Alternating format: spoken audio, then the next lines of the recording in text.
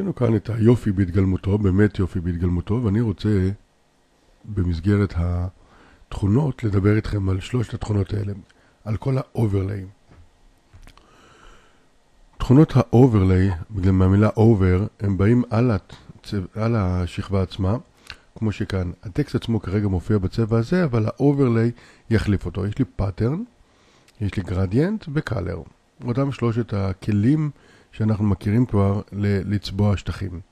אז ה pattern נותן לכם כאן כל מיני סוגי patterns, ואני כאן הוספתי עוד מספר pattern נוספים.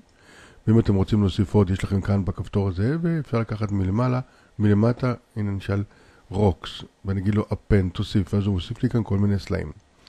אז אם אני אקח אחד מהם, כמו זה או זה, תוכלו לראות מיד את ההשתנות כאן בתוכו. יש כאן כל מיני פרמטרים, כמו למשל, זה קצת too much, אני דווקא אוהב את הבהירים יותר, נניח. יש כאן את האפשרות ללכת על הצפיפות שלו, ותוכלו לראות את המאוד כזה, גדול כאילו, וכאן קטנים, שזה נראה כמו זה נקודות עדינות. כמובן, יש את הנושא של ה-opacity, ואז אני משלב אותו בתוך הטקסט המקורי, בצבע המקורי. יש כאן ככה, השקיפות ככה יכולה להיות ככלי לא רע.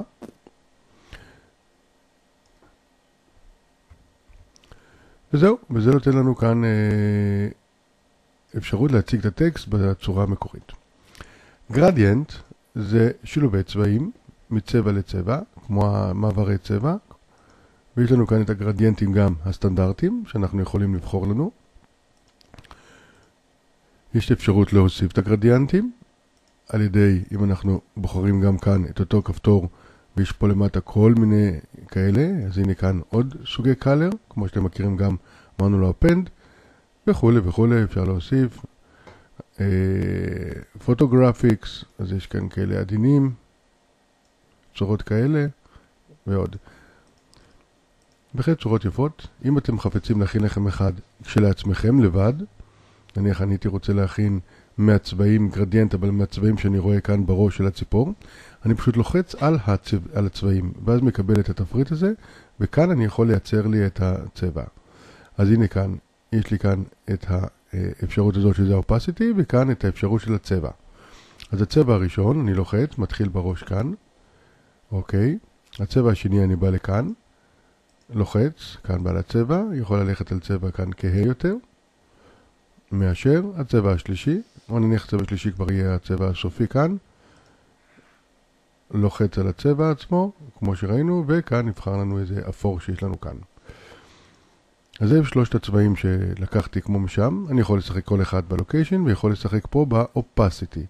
כלומר אם אני רוצה את האמצעי כאן שיהיה יותר, אה, יותר שקוף, אז הוא עדיין חוזר לצבע המקורי שהיה לנו אה, מקודם. אז אלה הם הגרדיאנטים, ניתן כאן אה, אישור, אפשר ביחד עם ה pattern, ואז אם אני אתן את ה pattern יותר עוצמתי נוכל לראות את זה, או שנחליף כאן רגע. אז יש כאן גם ביחד עם ה pattern, תראו בלעדיו ותראו יחד איתו. ככלל, ה... יש כאן גם את ה... אה, הכיוון של הצבעים. אז כאן בנושא של ה... ב pattern אין את הכיוון, אבל ב gradient יש את הכיוון. הנה הכיוון כאן 90 מעלות, וכרגע כיוון מצד ימין לצד שמאל, ואנחנו יכולים לשחק עם זה. פשוט לכו ותשחקו עם החוגה ותוכלו כאן להחליף בכל כיוון. אה, כמובן, החלק השלישי זה הצבע עצמו, color. איזה צבע אתה רוצה, ואתם שמים לב, ככל שאני בא יותר למעלה, הם יותר חזקים. אז אם יש כאן color, ה color שולט. אבל כמובן, יש לנו את ה opacity. אז אני יכול להוסיף כאן איזה color מסוים, נניח צבע כזה אדום, ויש כאן רק נגיעות אדום, והגרדיאנט פה, אם אני מסלק אותו, הוא מסתלק. אם אני מסלק את הפאטרן, הוא... אז כל אחד מהשלשייה הזאתי מוסיפה, שזה למעלה הוא הקובע יותר. גם כאן אני יכול לקחת את הצבע ולדגום, אם אני רוצה כל צבע מהצבעים כאן.